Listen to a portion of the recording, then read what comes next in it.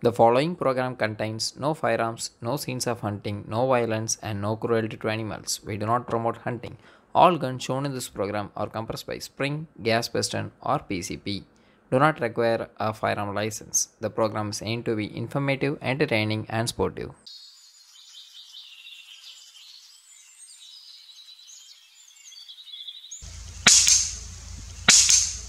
so hi everyone welcome back to my channel and today's video is another review video actually. The product which i'm going to review is right in front of me the Tryo psr neo shooting rest. Tryo is a brand which is making like shooting rest for all kind of rifles like firearms air rifles whatever it may be. Like they are making good shooting rest actually. I got one for review the Tryo psr neo. This is the model called Tryo psr neo. So i'm going to take you through the review of this product so we'll take a look at the features of the product. I'll show close-up views of the product and how it is used and so on. So i bought two rifles with me. And uh, this rifle rest takes a different kind of rifles like a traditional rifle for a springer bullpup everything goes with this rifle. So we'll go into the review and look at the product. So talking from the first uh, front actually so this is a velcro which is used to keep it in place. And this is a sandbag which can be filled with sand. It comes unfilled actually. You can fill, uh, fill it with sand or rice husk or whatever it is and you can use that uh, in the front. This is where the rifle front or the fore end of the rifle rest over and this has an adjustability. So if you loosen this butterfly nut at the bottom you can lift it and lower it as much as you need. And then coming to the back there is a rear end or the rear rest for the rifle which is uh, padded with some foam inside so it doesn't make any scratches on the rifle. So which i'm so into it because i don't want my rifles to get scratched. So we have a leather kind of a band at the back. If you place a heavy recoil rifle over here the buttstock of the rifle rest can be rested in this band actually which is useful at that point. So which is not going to be used in today's video in my rifles actually. This is a PCP and a Springer not going to recoil too much. And coming to the middle there is a elevation adjustment for this rest actually. So this can be elevated up and down using this knob at the center. So this is a elevation adjustment knob for this one. And then there are three adjustments two on the front and one at the back actually. The two on the front is to adjust the angle of the rest actually. Like if you want to keep it on a level ground and see the leveling of the rest like this is very useful. So you can adjust the angle of the rest. And rear there is one adjustment which is to adjust the total height of the rear portion of the rest. So there is lot of adjustability in the rest. And another one more important thing which i found to be the very interesting one is that this rest has a windage adjustment option. So usually shooting rests don't have windage adjustments in them but this one has a windage adjustment option. So if you loosen the front knob over here slightly i just like to keep it snug not too loose like keep it snug. And what i can do is like when the rifle is rested i can swivel it around like this. So this has a windage adjustment option. So if there is three targets over there in my lane and i want to take the three targets from here i don't want to move the whole rest up to this place. Like i can keep it over here and swivel it around. Even this rifle uh, front end is useful for keeping a 500 cc air, air rifle on this. Like i have my BHIM which has a 450 or 500 cc air reservoir which is bulky and which is like uh, has a bigger diameter buttstock actually. So that too can fit on this one very easily which is very useful for me. So let's not waste time. Let's uh, get into the video. I'll show you how to zero a rifle in this rest. We'll take some shots. Let's get to it. So i have set up the targets exactly at 40 yards from here uh, which is a zero range for this rifle. I haven't zeroed this rifle. So what i'm going to do is like i'm going to try to zero this rifle using the rest. I'm going to turn the scope cap on so i'm going to turn the scope cam on so you guys can see what we are going to go through. Uh, let's keep it at 40 so now the target is not visible in the scope actually. So what i'm going to do is like i'm going to lift it up to see the target first of all. So what i'm going to use is the elevation knob over here. If i just tighten this knob i can see the targets coming up. Yeah it's coming up and up. Now you can see the target over there okay that's my camera over there. So what i'm going to do is like i'm going to use the windage adjustment of this rifle rest. So this is the windage adjustment. So i got it exactly on the place and i'm going to tighten the front to keep it where it is. And then a little bit of adjustment on the elevation knob. So I got it right in the crosshair so I'm going to take a shot. I'm going to use the JSP 10.34 which are the most accurate pellets for this rifle. Take a shot with a 10.34 hopefully I don't hit my camera over there. It is recording. Yeah it's recording. Let's go.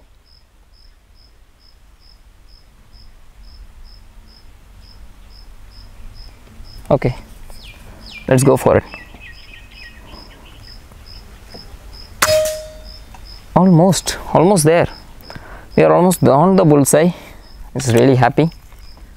So i'll show you like one more shot.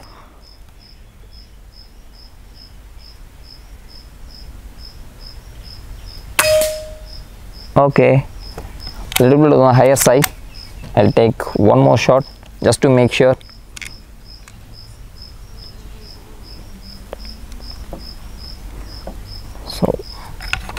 one more shot to make sure.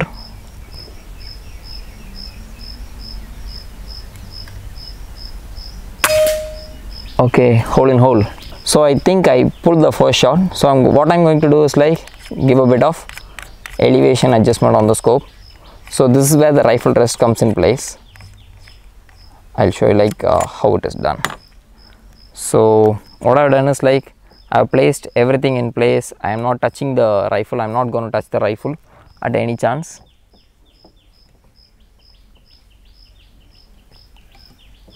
So what i'm going to do is like i'm not going to touch the rifle at any chance. So i'm going to move the elevation knob so that it aligns with the crosshair slightly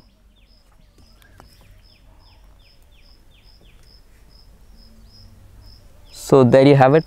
Right exactly on the crosshair. So what i'm going to do is like give a bit of clicks on the elevation to bring it to the point of impact.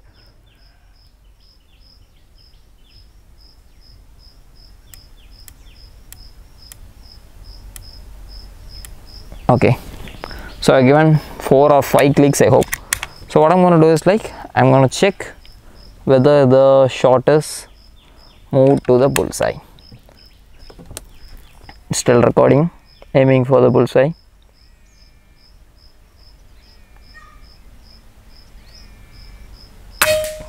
Yeah we got it.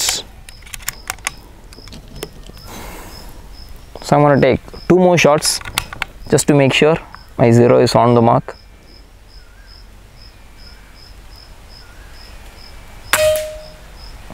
Into the same hole pellet on pellet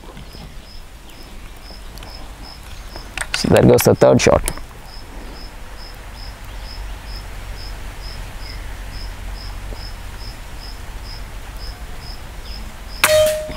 Yeah. Almost in the near the bullseye. So i'm pretty happy with the zeroing. So let's turn off the scope cam.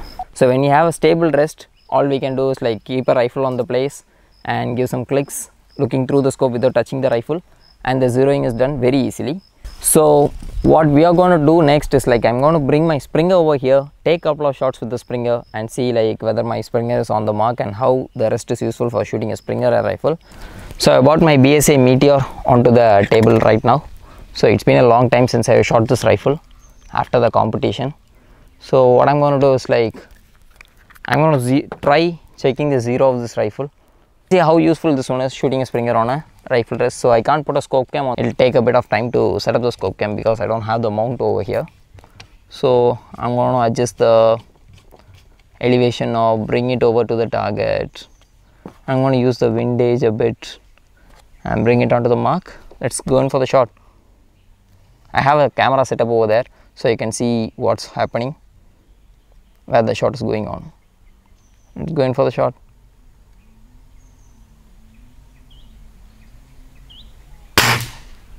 all right. Almost almost on the bullseye. Since it's a springer oh, okay i'll take it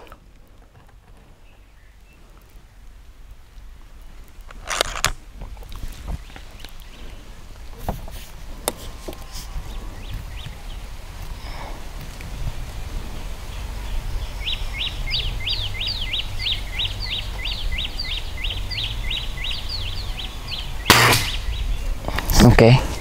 I pulled it. Oh, I think it's my mistake. I just pulled the shot. Let's try with the third shot.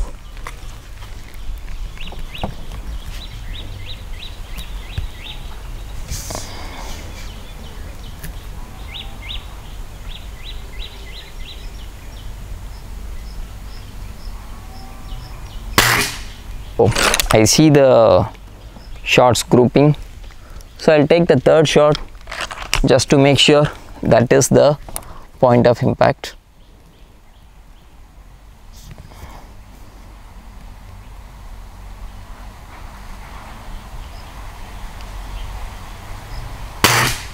Okay I got a really good group over there so I know like I had to re-zero the rifle.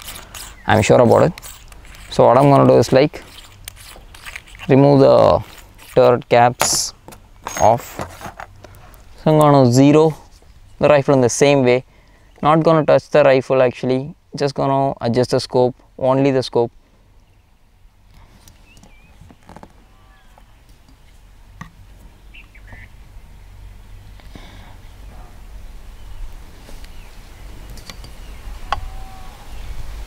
Okay let's try adjusting it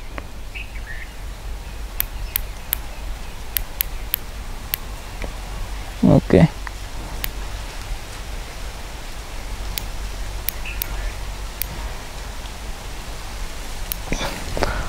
I think I got it. Let's go in for the shot. Okay it's getting hot. I'll just continue shooting. I just want to finish up this video.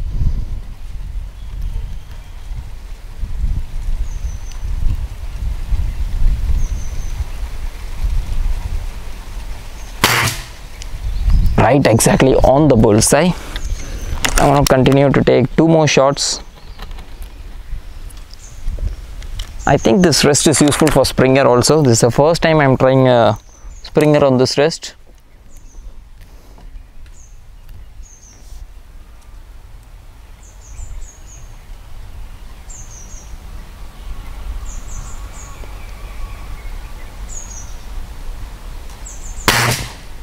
Okay.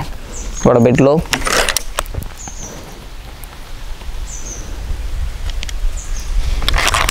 still I just continue to take the shot just to make sure.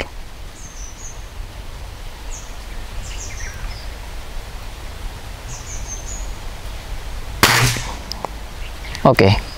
Now the shot is grouping a little bit lower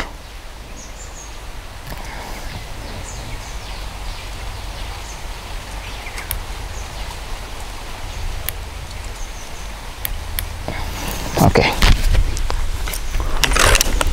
I got few clicks on the elevation